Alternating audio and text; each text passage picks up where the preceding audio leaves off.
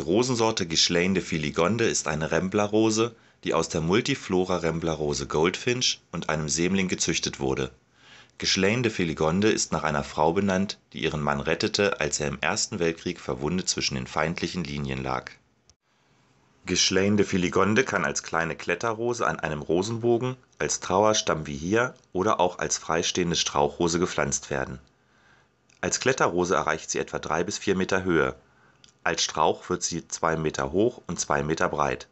Ihre kleinen moschusartig duftenden Blüten erscheinen in Büscheln zu sechs bis zwölf, sind viereinhalb Zentimeter groß und variieren von lachsrosa bis gelb.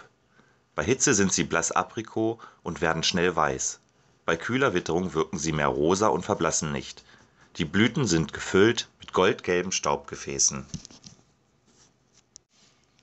Geschleinde Filigonde remontiert öfter im Jahr, wobei sie nach jedem Flor eine deutliche Pause einlegt.